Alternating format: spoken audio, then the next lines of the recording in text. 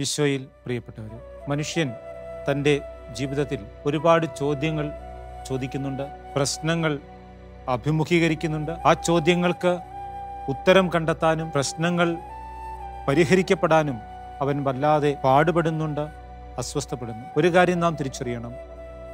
നാം ചോദിക്കുന്ന എല്ലാ ചോദ്യങ്ങൾക്കും ഉത്തരമുണ്ട്. പക്ഷേ ആ ഉത്തരം ഉടനെ തന്നെ കിട്ടണമെന്ന് നിർബന്ധമില്ല. ചില ചോദ്യങ്ങളുടെ ഉത്തരം കാലം പഠിപ്പിക്കും. ചില ചോദ്യങ്ങളുടെ ഉത്തരം ജീവിതം കൊണ്ട് പഠിക്കും. എല്ലാ ചോദ്യങ്ങൾക്കും ഉടനെ ഉത്തരം കിട്ടണമെന്നും എല്ലാ പ്രശ്നങ്ങൾക്കും ഉടൻ തന്നെ പരിഹാരം ഉണ്ടാകണം എന്നുമുള്ള ചില വാശികളാണ് ജീവിതത്തിൽ നമ്മെ വല്ലാതെ തളർത്തിക്കളയുന്നത് ചില സമയത്ത്.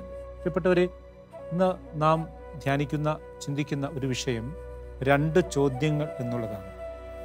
വിശുദ്ധ ഗ്രന്ഥത്തിൽ നമ്മുടെ വിശ്വാസ ആത്മീയ ജീവിതങ്ങളെ ആഭിമുഖ്യങ്ങളെ മനോഭാവങ്ങളെ ഒന്ന് മാറ്റി ചിന്തിക്കുവാൻ സഹായകമാകുന്ന രണ്ട് ചോദ്യങ്ങൾ ഈ രണ്ട് ചോദ്യങ്ങൾ നാം കണ്ടെത്തുക. ഒന്ന് അപ്പസ്തല പ്രവർത്തനം എട്ടാം അധ്യായത്തിൽ നിന്ന്. അപ്പസ്തല പ്രവർത്തനം എട്ടാം അധ്യായം ഇരുപത്തി ആറ് മുതലുള്ള വചനങ്ങളിൽ ഫിലിപ്പോസും എത്യോപ്യക്കാരനായ ഷണ്ടനും തമ്മിലുള്ള സംഭാഷണത്തിന്റെ ആ സംഭവമാണ് നാം വായിക്കുന്നത്. ഫിലിപ്പോസിനോട് കർത്താവിന്റെ ആത്മാവ് പ്രേരണ കൊടുക്കുകയാണ്. എത്തിയോപ്യക്കാരനായ ഷണ്ഠൻ രഥത്തിലിരുന്ന് ദൈവത്തിന്റെ വചനം വായിച്ചുകൊണ്ടിരിക്കുന്നു. ആ രഥത്തോട് ചേർന്ന് നടക്കും. അങ്ങനെ ആത്മാവിന്റെ പ്രേരണയനുസരിച്ച് ഫിലിപ്പോസ് എത്തിയോപ്യക്കാരനായ ഈ ഷണ്ഠന്റെ രഥത്തോട് ചേർന്ന് നടക്കുകയാണ്. അവൻ ദൈവത്തിന്റെ വചനം വായിച്ചുകൊണ്ടിരിക്കുകയാണ്. വചനം ഇപ്രകാരം പറയുകയാണ് ആത്മാവ് ഫിലിപ്പോസിനോട് പറഞ്ഞു ആ രഥത്തെ സമീപിച്ച് ചേർന്ന് നടക്കുക. അവൻ യശയായുടെ പ്രവചനം വായിക്കുന്നത് കേട്ട് ചോദിച്ചു. ഫിലിപ്പോസ് ഷണ്ഠനോട് ചോദിക്കുകയാണ് വായിക്കുന്നത് നിനക്ക് മനസ്സിലാവും? വായിക്കുന്നത് നിനക്ക് മനസ്സിലാവും. അവന്റെ ചോദ്യമാണ് അവന്റെ മറുപടിയാണ് ഇന്നത്തെ നമ്മുടെ ആദ്യത്തെ ചോദ്യം. അവൻ ചോദിക്കുകയാണ് ആരെങ്കിലും വ്യാഖ്യാനിച്ചു തരാതെ എങ്ങനെയാണ് ഞാൻ മനസ്സിലാക്കുക ആരെങ്കിലും വ്യാഖ്യാനിച്ചു തരാതെ എങ്ങനെയാണ് ഞാൻ മനസ്സിലാക്കി പ്രിയപ്പെട്ടവരെ വളരെ പ്രധാനപ്പെട്ട ഒരു ആത്മീയ ചിന്തയിലേക്ക് എന്റെ ഒരു ധ്യാനാവസരത്തിൽ ആത്മാവ് എന്നെ നയിച്ച ഒരു ചോദ്യമാണ്. ആത്മാവ് നൽകിയ ഒരു ആ ഒരു വെളിപ്പെടുത്തൽ വളരെ ഞെട്ടലോടെയും എളിമയോടും കൂടിയാണ് ഞാൻ സ്വീകരിച്ചത്. നമുക്കറിയാം ഇന്ന് നാം ജീവിക്കുന്ന ഈ കേരള സമൂഹത്തിൽ ഈ ലോകത്ത് വചനപ്രഘോഷകരെ മുട്ടിയിട്ട് നടക്കാൻ വയ്യാത്ത ഒരു സാഹചര്യം വൈദികരാവട്ടെ സിസ്റ്റേഴ്സ് ആവട്ടെ അൽമായരാവട്ടെ അൽമായ പ്രേക്ഷിതർ ഇങ്ങനെ നൂറുകണക്കിന് ആയിരക്കണക്കിന് മനുഷ്യർ ദൈവത്തിന്റെ വചനം പ്രസംഗിക്കുന്നുണ്ട് പ്രഘോഷിക്കുന്നുണ്ട് അതിനുവേണ്ടി ഒരുപാട് കാര്യങ്ങൾ ചെയ്യുന്നുണ്ട്. വചന പ്രഘോഷണം മാത്രമല്ല ഒരുപാട് അവസരങ്ങൾ ഞാനിപ്പോൾ ചെയ്തുകൊണ്ടിരിക്കുന്നതും അതുതന്നെയാണ്. വിശുദ്ധ ഗ്രന്ഥം നമുക്ക് എല്ലായിടത്തും ലഭ്യമാണ്. നമ്മുടെ ഭാഷയിൽ പ്രിന്റ് ചെയ്തും നമ്മുടെ മൊബൈലിൽ ആപ്ലിക്കേഷനുകളായും ഒക്കെ അത് അവൈലബിൾ ആണ്. എപ്പോഴും വചനം വായിക്കാനും വചനം കാണാനും വചനം ധ്യാനിക്കാനും വചനം കൊടുക്കാനും ഒക്കെയുള്ള ഒരുപാട് അവസരങ്ങൾ പ്രത്യേകിച്ച് ലോകത്ത് മറ്റ് എല്ലായിടത്തും ഉള്ളതിനേക്കാളും കേരളത്തിൽ ഉണ്ട് എന്നുള്ളത് ദൈവത്തിന്റെ സ്വന്തം നാടായ ഈ നാട്ടിൽ ഉണ്ട് എന്നുള്ളത് നമ്മളെ സംബന്ധിച്ച് അഭിമാനകരമായ കാര്യമാണ്. ഈ ഒരു പശ്ചാത്തലത്തിലാണ് എത്യോപ്യക്കാരനായ ഷണ്ഠന്റെ ഈ ഒരു ചോദ്യത്തിന്റെ പ്രസക്തി ആരെങ്കിലും വ്യാഖ്യാനിച്ചു തരാതെ എങ്ങനെയാണ് എനിക്കിത് മനസ്സിലാവുക എന്ന് ഈ മനുഷ്യൻ പറയുമ്പോൾ അതിലെന്താണ് ആത്മാവ് നൽകിയ ഒരു സൂചന? ദൈവത്തിന്റെ ആത്മാവ് എന്നോട് സംസാരിച്ചത് ഇങ്ങനെയാണ്. വെറുതെ ബൈബിൾ വ്യാഖ്യാനിച്ചു കൊടുക്കുന്നതിനെ കുറിച്ചോ ബൈബിൾ അർത്ഥം പറഞ്ഞു കൊടുക്കുന്നതിനെ കുറിച്ചോ ബൈബിൾ ആ എത്യോപ്യക്കാരനായ ഷണ്ടനായ ആ മനുഷ്യന് പറഞ്ഞു കൊടുക്കുന്നതിനെ കുറിച്ചോ അല്ല ഈ ആധുനിക കാലഘട്ടത്തിൽ ദൈവാത്മാവ് ഈ ഒരു വചനം കൊണ്ട് അർത്ഥമാക്കുന്നത് എന്ന് എനിക്ക് തോന്നുകയാണ്. ഇത്രയും ഉള്ളൂ. ഒറ്റ വാക്കിൽ പറഞ്ഞാൽ ആരെങ്കിലും വ്യാഖ്യാനിച്ചു തരാതെ എങ്ങനെയാണ് എനിക്കിത് മനസ്സിലാവുക എന്ന് വെച്ചാൽ അതിന്റെ അർത്ഥം ഇത്രയേ ഉള്ളൂ. ആരെങ്കിലും ജീവിച്ചു കാണിക്കാതെ എങ്ങനെയാണ് എനിക്ക് ഇന്ന് ഈ ക്രിസ്തുവിനെ മനസ്സിലാക്കാൻ കഴിയുക? പ്രിയപ്പെട്ടവരെ വചനം വ്യാഖ്യാനിക്കാൻ വചനം പ്രസംഗിക്കാൻ അത്ഭുതങ്ങൾ ചെയ്യാൻ അടയാളങ്ങൾ ചെയ്യാൻ രോഗശാന്തി നൽകാൻ പിശാചുക്കളെ പുറത്താക്കാൻ ഒരുപാടുണ്ട്. കർത്താവെ കർത്താവെ എന്ന് വിളിക്കുന്നവനല്ല എന്റെ സ്വർഗസ്ഥനായ പിതാവിന്റെ ഹിതം നിറവേറ്റുന്നവനാണ് സ്വർഗരാജ്യത്തിൽ പ്രവേശിക്കുക. അതിനെ നമ്മൾ കൃത്യമായി കാണുന്നുണ്ടല്ലോ. അവർ പറയും കർത്താവെ ഞങ്ങൾ കർത്താവെ കർത്താവെ ഞങ്ങൾ നിന്റെ നാമത്തിൽ പിശാചുക്കളെ ബഹിഷ്കരിച്ചിട്ടുണ്ട് രോഗശാന്തി നൽകിയിട്ടുണ്ട് അത്ഭുതങ്ങൾ ചെയ്തിട്ടുണ്ട്. ഒന്ന് ചിരിച്ചിട്ട് ടീച്ചർ പറയും എനിക്ക് നിങ്ങളെ അറിയില്ല. ഐ ഡോ നോ യു എനിക്ക് നിങ്ങളെ അറിയില്ലെന്നേ. ഇതൊരു വലിയ ആത്മീയ അപകടമാണ്. ഈ അപകടത്തിന്റെ മുൻപിൽ നിന്നുകൊണ്ടാണ് ഈ ചോദ്യത്തിന് നമ്മൾ ഉത്തരം കൊടുക്കേണ്ടത്. ആരെങ്കിലും വ്യാഖ്യാനിച്ചു തരാതെ എങ്ങനെയാണ് എനിക്കിത് മനസ്സിലാവുക എന്ന് പറഞ്ഞാൽ ആരെങ്കിലും ജീവിച്ചു കാണിക്കാതെ എങ്ങനെയാണ് ഇന്ന് എന്റെ വീട്ടിൽ എന്റെ ജീവിതത്തിൽ എന്റെ ഇടവകയിൽ എന്റെ രൂപതയിൽ ഞാൻ ജീവിക്കുന്ന ഈ ലോകത്ത് ക്രിസ്തു ജീവിക്കുന്നത്. വചനം പ്രസംഗിക്കാനും വ്യാഖ്യാനിക്കാനും ഒരുപാട് പറഞ്ഞു പക്ഷേ ക്രിസ്തുവിനെ ജീവിക്കാൻ ക്രിസ്തുവിനെ ജീവിതത്തിന്റെ ഭാഗമാക്കി ജീവിച്ച് ക്രിസ്തുവിനെ വ്യാഖ്യാനിച്ചു കൊടുക്കാൻ ആരുമില്ല എന്ന ഒരു വലിയ ആത്മീയ ദുരന്തത്തിലേക്ക് ഈ ചോദ്യം നമ്മളെ കൊണ്ടെത്തിക്കണം. അതുകൊണ്ടാണ് ഞാൻ പറഞ്ഞത് വളരെ ഞെട്ടലോടെ എന്നാൽ ആത്മീയമായ എളിമയോടുകൂടിയ ആത്മാവ് നൽകിയ ആ ചിന്ത ഞാൻ സ്വീകരിച്ചു. എത്യോപ്യക്കാര ചണ്ടന്റെ ആദ്യത്തെ ചോദ്യം പ്രധാനപ്പെട്ടതാണ്. ആരെങ്കിലും ഒക്കെ ജീവിച്ചു കാണിക്കും. നമുക്കറിയാം ക്രിസ്തുവിന് വേണ്ടി ഏറെ ഓടിയ അപ്പസ്തലൻ പൗലോസ്ലിഹ അവൻ സാവൂളായിരുന്നു. ഈ സാവൂൾ എവിടെയാണ് ക്രിസ്തുവിനെ ആദ്യമായി കണ്ടത്? ഡമാസ്കസിൽ നിന്നും ക്രിസ്ത്യാനികളെ പീഡിപ്പിക്കുവാനുള്ള സമ്മതപത്രം നേടി അവൻ വരുന്ന വഴിക്ക് കുതിരപ്പുറത്ത് നിന്നും താഴെ വീണ് ഒരു വെളിച്ചമുണ്ടായി. അങ്ങനെ അവൻ ക്രിസ്തുവിനെ കണ്ടുമുട്ടി എന്നൊക്കെ വചനം വായിക്കുമ്പോൾ ഞാൻ പറയും അല്പം കൂടി പുറകോട്ട് പോയി ഒന്ന് വായിച്ചു നോക്കിയാൽ കൃത്യമായി നമുക്ക് കാണാൻ കഴിയും. എവിടെയാണ് പൗലോസ് ക്രിസ്തുവിനെ ആദ്യമായി കണ്ടത്. ആരെങ്കിലും ജീവിച്ചു കാണിക്കാതെ ആരെങ്കിലും വ്യാഖ്യാനിച്ചു നൽകാതെ ആരെങ്കിലും ജീവിതം കൊണ്ട് വ്യാഖ്യാനിക്കാതെ എങ്ങനെയാണ് പ്രിയപ്പെട്ടവരെ ഇന്ന് ക്രിസ്തു നമ്മുടെ ഇടയിൽ? ഒരുപക്ഷെ ലോകത്തോ മറ്റെല്ലാവരും ചെയ്യുന്നതിനേക്കാളും കൂടുതൽ സാമൂഹ്യ പ്രവർത്തനങ്ങളും കാരുണ്യ പ്രവർത്തനങ്ങളും കോടിക്കണക്കിന് രൂപയുടെ കാര്യങ്ങളുമൊക്കെ കത്തോലിക്ക സഭ ചെയ്തിട്ടും ക്രിസ്തുവിന്റെ നാമത്തിൽ ചെയ്തിട്ടും എന്തുകൊണ്ട് നമ്മുടെ പല കാര്യങ്ങളും വേണ്ടവണ്ണം മുൻപോട്ട് പോകുന്നില്ല? ജീവിത സാക്ഷ്യത്തിന്റെ അഭാവം. ആരെങ്കിലും ജീവിച്ചു കാണിക്കാതെ ആരെങ്കിലും ജീവിച്ചു കാണിക്കാതെ എങ്ങനെയാ എനിക്ക് ക്രിസ്തുവിനെ ജീവിക്കാൻ കഴിയുക? പൗലോസ് ക്രിസ്തുവിനെ കണ്ടത് ദമാസ്കസിൽ നിന്നുള്ള വഴിയിലല്ല. മറിച്ച് അല്പം കൂടി പുറകോട്ട് പോകുമ്പോൾ നാം കാണുന്നുണ്ട് സ്തേഫാനോസിനെ കല്ലെറിയുന്ന ഒരു രംഗം. സഭയിലെ ആദ്യത്തെ രക്തസാക്ഷിയായ സ്തേഫാനോസിനെ കല്ലെറിഞ്ഞു കൊല്ലുന്ന ആ സമയത്ത് വചനം പറയുന്നുണ്ട് കല്ലെറിഞ്ഞു കൊല്ലുന്ന ആ മനുഷ്യരുടെ വസ്ത്രങ്ങൾ സൂക്ഷിച്ചുകൊണ്ട് അവരുടെ മേൽനോട്ടക്കാരനായി ഒരു മനുഷ്യൻ നിൽക്കുന്നുണ്ട് നമ്മുടെ ഈ മാന്യനായ സാവൂൾ. അക്രമികൾ സ്തേഫാനോസിനെ കല്ലെറിഞ്ഞു കൊല്ലുമ്പോൾ അവൻ സ്വർഗത്തിലേക്ക് നോക്കിയതാ വചനം പറയും കർത്താവ് ഈ കുറ്റം അവരുടെ മേൽ ആരോപിക്കരുതേ എന്ന് പറഞ്ഞുകൊണ്ട് അവൻ സ്വർഗത്തിലേക്ക് നോക്കിയപ്പോൾ സ്വർഗത്തിൽ ദൈവത്തിന്റെ വലതുഭാഗത്ത് അവൻ ക്രിസ്തുവിനെ കാണുകയാണ്. തന്റെ വിശ്വാസത്തിനു വേണ്ടി തന്റെ ബോധ്യത്തിനു വേണ്ടി ക്രിസ്തുവിനു വേണ്ടി തന്റെ മൂല്യങ്ങൾക്ക് വേണ്ടി തന്റെ ദർശനങ്ങൾക്ക് വേണ്ടി തന്റെ ജീവനും ജീവിതവും മാറ്റിവെച്ചുകൊണ്ട് അത് അക്രമികളാൽ പിച്ചു ചിന്തപ്പെടുമ്പോൾ അത് മനുഷ്യരാൽ കല്ലെറിയപ്പെടുമ്പോൾ സന്തോഷത്തോടെ പുഞ്ചിരിച്ചുകൊണ്ട് ക്ഷമിച്ചുകൊണ്ട് പ്രാർത്ഥിച്ചുകൊണ്ട് സ്വർഗത്തിലേക്ക് നോക്കി സ്വർഗത്തിലേക്ക് നോക്കിയ സ്തേഫാനോസിന്റെ കണ്ണുകളിലാണ് സാവൂൾ ആദ്യമായി ക്രിസ്തുവിനെ കണ്ടത്.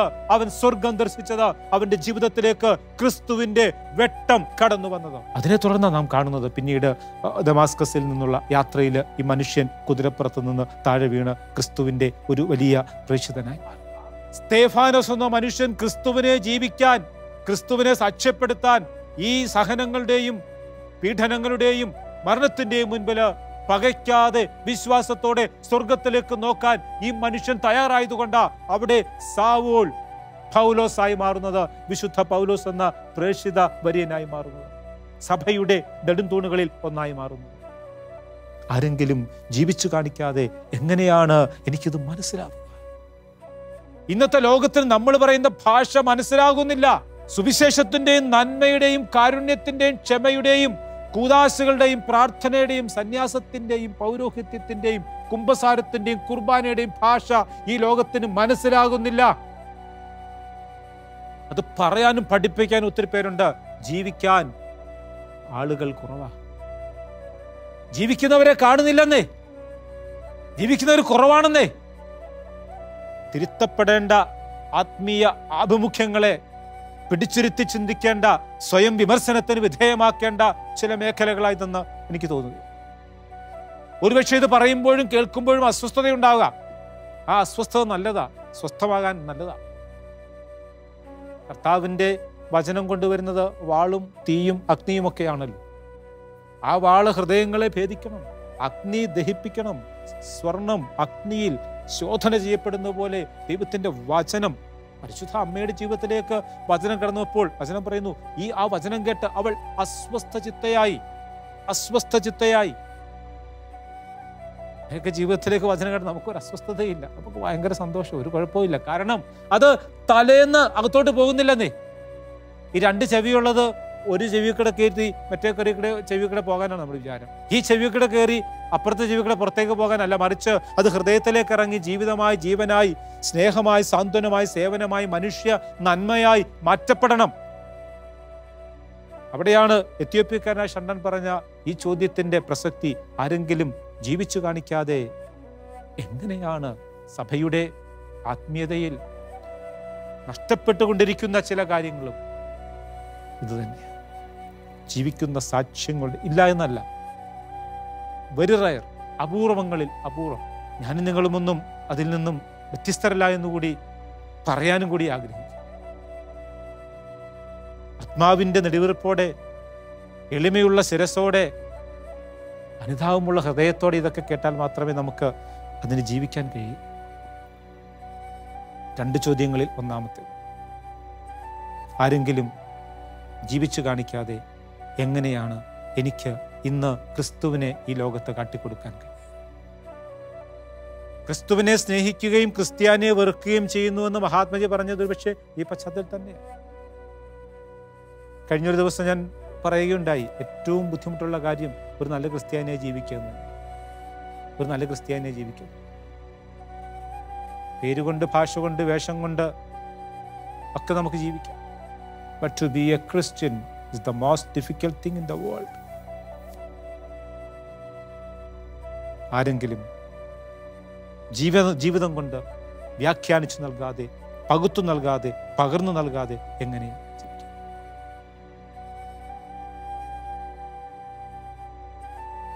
കുഷ്ഠരോഗിയായ മനുഷ്യന്റെ മുറിവുകൾ വെച്ച് കെട്ടുമ്പോൾ അവന്റെ മുറിവിൽ നിന്ന് ചോരയും ചലവും പഴുപ്പും ഒപ്പിയെടുത്തുകൊണ്ട് ആ മുറിവിലേക്ക് മരുന്ന് പുരട്ടുമ്പോൾ മദർ തെരേസയുടെ മുഖത്തേക്ക് നോക്കി ആ മനുഷ്യൻ ചോദിച്ചു ആർ യു ക്രൈസ്റ്റ് താങ്കൾ ക്രിസ്തുവാണോ? ക്രിസ്തുവിന് മാത്രമേ ഇങ്ങനെ ചെയ്യാൻ പറ്റൂ. ക്രിസ്തു ഉള്ളിലില്ലാത്തവന് അങ്ങനെ ചെയ്യാൻ പറ്റില്ല. തെരേസ അത് ജീവിതം കൊണ്ട് സുവിശേഷം ജീവിച്ചു കാണിച്ചപ്പോൾ ജീവിതം കൊണ്ട് ആ മനുഷ്യന്റെ മുൻപിൽ സുവിശേഷത്തിന്റെ വ്യാഖ്യാനം തീർത്തപ്പോൾ അവൾ ജീവിച്ചിരിക്കുന്ന വിശുദ്ധയായി മാറി ജീവനോട് ഇരിക്കുമ്പോൾ തന്നെ അവൾ വിശുദ്ധയെന്ന് ലോകം വിളിച്ചു. അവൾ ലോകത്തിന്റെ അമ്മയായി. കർത്താവേ കർത്താവേ എന്ന് വിളിക്കുന്നവനല്ല.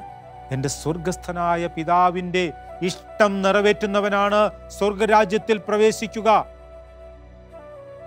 ഇതിന്റെ അർത്ഥം എന്തെന്നറിയുവോ അധര വ്യായാമമല്ല ഹൃദയ വ്യാപാരമാണ് നമുക്ക് വേണ്ടത്. അധര വ്യാപാരമല്ല ഹൃദയ വ്യാപാരമാണ് നമുക്ക് വേണ്ടത്.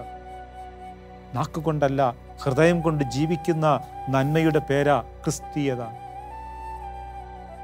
നാക്കുകൊണ്ടും വാക്കുകൊണ്ടും നോക്കുകൊണ്ടുമല്ല നിന്റെ ഹൃദയം കൊണ്ട് നിന്റെ ജീവിതം കൊണ്ട് എഴുതി തീർക്കേണ്ട എഴുതി സമാപിപ്പിക്കേണ്ട ദൈവത്തിന്റെ കരുണയുടെ കൃപയുടെ പേരാ ക്രിസ്ത്യാനി അല്ലെങ്കിൽ ഒരു വിശ്വാസി. ചോദ്യം പ്രസക്തമാ. ആരെങ്കിലും വ്യാഖ്യാനിക്കാതെ അല്ല ആരെങ്കിലും ജീവിക്കാതെ എനിക്ക് മുൻപിൽ ഒരു മാതൃകയില്ലാതെ എങ്ങനെ ഞാൻ ഇന്ന് ഈ ലോകത്ത് ഈ ജീവിതം ജീവിക്കും? ഈ വിശ്വാസം ജീവിക്കും? വിശ്വാസത്തിന്റെ പ്രാർത്ഥനയുടെ ആത്മീയതയുടെ മാതൃകകൾ എന്റെ മുൻപിലില്ല. നമ്മുടെ ചില കുഞ്ഞുങ്ങളൊക്കെ നമുക്കറിയാം ഒരു സിനിമ കാണാൻ പോകുമ്പോൾ വലിയ സ്ക്രീനിൽ സിനിമയിലെ നായകൻ ഒരു നായകൻ ഒറ്റയ്ക്ക് നിന്ന് ചുറ്റുപാട് നിൽക്കുന്ന ഒരു അൻപത് പേരെ ഇടിച്ചിടുകയാണ്. ഭയങ്കരമായിട്ട് കൈയടിക്കുകയാണ്. അല്ലെങ്കിൽ ഒരാൾ ഒറ്റയ്ക്ക് നിന്ന് ഒരു നൂറ് പേരെ വെടിവെച്ച് കൊല്ലുകയും. എന്തിനാണ് അവർ കൈയടിക്കുന്നത്? ഈ കാണുന്ന വ്യക്തികളുടെ മനസ്സിൽ ഇങ്ങനെയൊക്കെ ചെയ്യണമെന്ന് ആഗ്രഹമുണ്ട്. പക്ഷെ അവനത് ചെയ്യാൻ പറ്റുന്നില്ല. മിനിമം സിനിമയിലെങ്കിലും ആ കഥയിലെങ്കിലും അവൻ അങ്ങനെ ഒരാളെ കാണുമ്പോൾ ഒരു നായകനെ കാണുമ്പോൾ ഒരു നേതാവിനെ കാണുമ്പോൾ അവൻ അറിയാതെ കൈയടിക്കുന്നു. കാരണം അവന്റെ മനസ്സിലും ഇങ്ങനെയൊക്കെ ചില കാര്യങ്ങൾ ചെയ്യണമെന്നുണ്ട് അവന് ജീവിതത്തിന് ചെയ്യാൻ പറ്റുന്നില്ല. പക്ഷെ അവൻ സിനിമയിൽ അത് കാണുമ്പോൾ നായകൻ അത് ചെയ്യുമ്പോൾ അവൻ കൈയടിച്ചതിനെ പ്രോത്സാഹിപ്പിക്കും അത് ജീവിതത്തിൽ ചെയ്യാൻ ശ്രമിക്കുന്ന ചില മനുഷ്യരൊക്കെ ഉണ്ട് എന്നുള്ളതും അവിടെ നിൽക്കട്ടെ. ചോദ്യം അവസാനിക്കും ആരെങ്കിലും വ്യാഖ്യാനിച്ചു തരാതെ അല്ല ആരെങ്കിലും ജീവിച്ചു തീർക്കാതെ ജീവിച്ചു കാണിക്കാതെ എങ്ങനെയാണ് ഇന്ന് ഞാൻ ക്രിസ്തുവിനെ തിരിച്ചറിയുക വാക്ക് പ്രവൃത്തിയായി മാറണം. പറയുന്നത് കർമ്മമായി മാറണം. വചനം മാംസമായി മാറണം വീണ്ടും മർക്കോസിന്റെ സുവിശേഷം പതിനാറാം അധ്യായം മൂന്നാം വചനം ഇങ്ങനെ പറയുന്നു. ആരാണ് ശവകുടീരത്തിങ്കിൽ നിന്നും നമുക്ക് വേണ്ടി കല്ലുരുട്ടി മാറ്റുക? പ്രസക്തമായൊരു ചോദ്യം. ഇന്നത്തെ ലോകം ഒരുപാട് അസാധ്യതകളുടെയും പ്രശ്നങ്ങളുടെയും നടുവിൽ ഒരു രക്ഷകനെ അന്വേഷിക്കും ഇത്തരത്തിൽ ജീവിതത്തിന്റെ അടയ്ക്കപ്പെട്ട വാതിലുകൾക്ക് മുൻപിൽ ശവകുടീര സമാനമായ ജീവിതത്തിന് മുൻപിൽ രക്ഷയെ രക്ഷകനെ അന്വേഷിക്കുന്ന ലോകത്തിന് മുൻപിൽ ക്രിസ്തുവാകുന്ന ഏകരക്ഷകനെ അവതരിപ്പിക്കുവാൻ കഴിയുന്നിടത്താണ് എന്റെയും നിങ്ങളുടെയും ജീവിതം കൊണ്ട് ഈ രണ്ടാമത്തെ ചോദ്യത്തിന് ഉത്തരം കൊടുക്കേണ്ടത്. ആരാണ് നമുക്ക് വേണ്ടി കല്ലറയിങ്കൽ നിന്നും കല്ലുരുട്ടി മാറ്റുക? പ്രിയപ്പെട്ടവരെ ഈ ലോകത്തിന് നാം കൊടുക്കേണ്ട ഒരു ബോധ്യമുണ്ട്. യേശു ക്രിസ്തുവിന് പരിഹരിക്കാൻ കഴിയാത്ത ഒരു പ്രശ്നവും നിന്റെ ജീവിതത്തിലില്ല. യേശു ക്രിസ്തുവിനെ പരിഹരിക്കാൻ കഴിയാത്ത ഒരു പ്രശ്നവും നിന്റെ ജീവിതത്തിലില്ല. യേശു ക്രിസ്തുവിനെ സുഖപ്പെടുത്താൻ കഴിയാത്ത ഒരു രോഗവും നിന്റെ ജീവിതത്തിലില്ല. യേശു ക്രിസ്തുവിന് ക്ഷമിക്കാൻ കഴിയാത്ത ഒരു പാപവും നീ ചെയ്തിട്ടില്ല. ഈ മൂന്ന് ബോധ്യങ്ങൾ അടയ്ക്കപ്പെട്ട ഹൃദയങ്ങളുമായി തകർക്കപ്പെട്ട മനസ്സുകളുമായി ജീവിക്കുന്ന ഈ ലോകത്തിനു മുമ്പിൽ കൊടുക്കാൻ നമുക്ക് കഴിയണം. ഈ രണ്ട് ചോദ്യങ്ങൾക്ക് ഉത്തരം കൊടുക്കാതെ ഹേ വിശ്വാസി നമുക്ക് എങ്ങനെ മുൻപോട്ട് പോകുവാൻ കഴിയും? എങ്ങനെ നമുക്ക് നമ്മുടെ ജീവിതത്തെ ക്രമപ്പെടുത്തുവാൻ കഴിയും? എങ്ങനെ നമുക്ക് നമ്മുടെ ആത്മീയതയെ മെച്ചപ്പെടുത്തി എന്ന് പറഞ്ഞ് അഭിമാനത്തോടെ ജീവിക്കുവാൻ കഴിയും? പേരുകൊണ്ടും വേഷം കൊണ്ടും ഭാഷ കൊണ്ടും മാത്രമല്ല ചങ്കിൽ തൊട്ട് അസ്രായന്റെ ചങ്ക് പറിച്ചെടുത്ത് ഹൃദയത്തോട് ചേർത്ത് വെച്ച് ജനത്തിന് പകത്തു കൊടുക്കുന്ന ജീവിതം മുറിച്ചു കൊടുക്കുന്ന ഒരു ജീവിതത്തിന്റെ ശൈലിയല്ലേ നമുക്ക് ഇന്നും അന്യമായിക്കൊണ്ടിരിക്കുന്നു ആരാണ് നമുക്ക് വേണ്ടി കല്ലുരുട്ടി മാറ്റും ഈ ലോകം അസാധ്യതകളെ കാണുമ്പോൾ ക്രിസ്തുവിന്റെ സാധ്യത തുറന്നു കൊടുക്കണം. ഈ ലോകം മുറിവുകളെ കാണുമ്പോൾ ആ മുറിവുകളെ തിരുമുറിവുകളാക്കുന്ന തമ്പുരാന്റെ കാരുണ്യം ചൊരിഞ്ഞു കൊടുക്കണം. ഈ ലോകം കുറവുകളെ മാത്രം കാണുമ്പോൾ ആ കുറവുകളെ നിറവുകളാക്കുന്ന തമ്പുരാന്റെ കൃപയ്ക്കായി പ്രാർത്ഥിക്കണം. അങ്ങനെയെങ്കിൽ നമുക്ക് ഈ രണ്ട് ചോദ്യങ്ങൾക്ക് ഉത്തരം കൊടുക്കാൻ കഴിയും. ആരെങ്കിലും വ്യാഖ്യാനിച്ചു തരാതെ എങ്ങനെയാണ് ഞാനിത് മനസ്സിലാക്കുന്നത്? ആരാണ് നമുക്ക് വേണ്ടി കല്ലറയുടെ വാതുക്കൽ നിന്നും കല്ലുരുട്ടി മാറ്റും കല്ലറകളെ ശൂന്യമാക്കി കല്ലുകളെ തകർത്ത. എല്ലാ ചോദ്യങ്ങൾക്കും എല്ലാ പ്രശ്നങ്ങൾക്കും ഉത്തരമായ പരിഹാരമായ ക്രിസ്തുവിനെ നമുക്ക് സ്വീകരിക്കും. ആരെങ്കിലും ജീവിച്ചു കാണിക്കാതെ എങ്ങനെയാണ് എനിക്കിത് മനസ്സിലാവുക? വചനത്തെ ആത്മീയതയെ ക്രിസ്തുവിനെ ജീവിതം കൊണ്ട് വ്യാഖ്യാനിച്ച വ്യക്തിയുടെ പേരാ മദർ തെരേസ. അവൾ വിശുദ്ധയായി. പൊട്ടിയൊഴുകുന്ന മുറിവുകൾ വെച്ച് കെട്ടുമ്പോൾ അവളുടെ മുഖത്ത് നോക്കി ആ രോഗി ചോദിച്ചു ആർ യു ക്രൈസ്റ്റ് താങ്കൾ ക്രിസ്തുവാണോ? ക്രിസ്തുവിന് മാത്രമേ ഇങ്ങനെ ചെയ്യാൻ പറ്റൂ. ക്രിസ്തു ഉള്ളിലില്ലാത്തവന് ഇത് സാധ്യമല്ല. അത് കണ്ടുകൊണ്ട് നിന്ന ഒരു പത്രപ്രവർത്തകൻ പറഞ്ഞു പത്ത് ലക്ഷം രൂപ തരാമെന്ന് പറഞ്ഞാലും ഞാനിത് ചെയ്യുകയില്ല. അത് തെരേസ പറഞ്ഞു അത്രയും പൈസ വന്നാൽ ഞാനും ചെയ്യില്ല. പക്ഷേ ഞാനിത് ചെയ്യുന്നത് ക്രിസ്തുവിന് വേണ്ടി. ഫോർ ക്രൈസ്റ്റ് ക്രിസ്തുവിനെ വ്യാഖ്യാനിക്കും. ജീവിതം കൊണ്ട് പകർന്നു നാസികളുടെ തടങ്കൽ പാളയത്തിൽ മരണത്തിന്റെ വരിയിൽ പത്താമനായി നിന്ന മനുഷ്യൻ ഗോൺസാലസ്. ഒരു തടവുകാരൻ ചാടിപ്പോയി. ആ ചാടിപ്പോയ മനുഷ്യന് പകരമായി പത്ത് പേരെ കൊല്ലാൻ ഹിറ്റ്ലറിന്റെ പടയാളികൾ തീരുമാനിക്കുകയാ വൺ ടു ത്രീ ഫോർ പത്ത് വരെ എണ്ണി നിർത്തി. പതിനൊന്നാമനായി ഫാദർ കോൾബെ നിൽക്കുകയാണ് മാക്സിമിലിയൻ കോൾബെ പത്താമനായി പടയാളികൾ ഗോൺസാൽവസിന്റെ നേരെ വിരൽ ചൂണ്ടിയപ്പോൾ അവൻ നിലവിളിച്ചു പറഞ്ഞു അയ്യോ എന്നെ കൊല്ലരുതേ. എനിക്ക് ഭാര്യയും മക്കളുമുണ്ട് എന്നെ കൊല്ലരുതേ. എനിക്ക് ജീവിക്കണം. ആ മനുഷ്യന്റെ നിലവിളി കേട്ടുകൊണ്ട് ആ മനുഷ്യന്റെ കരച്ചിൽ കണ്ടുകൊണ്ട് പത്താമനായി നിന്ന മനുഷ്യനെ കൈക്ക് പിടിച്ച് പുറത്തേക്ക് മാറ്റി നിർത്തിയിട്ട് പതിനൊന്നാമനായി നിന്ന ഫാദർ കോൾബെ പത്താമനായി ആ മരണത്തിന്റെ വരിയിലേക്ക് കയറി നിന്നു. എന്നിട്ട് പറഞ്ഞു അവന് വേണ്ടി ഞാൻ മരിക്കാം. അവന് വേണ്ടി ഞാൻ മരിക്കാം. ജീവിതം വ്യാഖ്യാനിച്ചു കൊടുത്ത മനുഷ്യന്റെ പേരല്ലേ വിശുദ്ധ മാക്സിമിലിയൻ കോൾബെ. കുഷ്ഠരോഗികൾക്ക് വേണ്ടി ശുശ്രൂഷ ചെയ്യാൻ മൊറോക്കോ ദ്വീപിലെത്തി. അവരുടെ ഇടയിൽ ജീവിച്ച് ഒരു നാൾ അടുക്കളയിൽ തിളച്ച വെള്ളം കൈകാര്യം ചെയ്യുമ്പോൾ ഒരു കപ്പ് വെള്ളം കയ്യിലേക്ക് വീണു. അവന്റെ കൈ പൊള്ളിയില്ല.